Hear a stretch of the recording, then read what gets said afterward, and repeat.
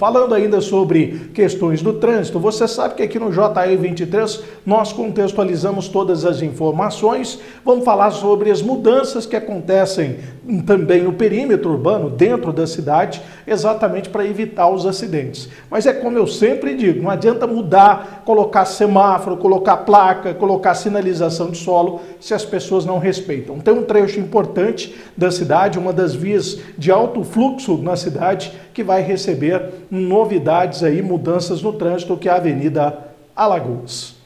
A Secretaria de Segurança anunciou mudança no sentido de direção em um trecho na Avenida Alagoas.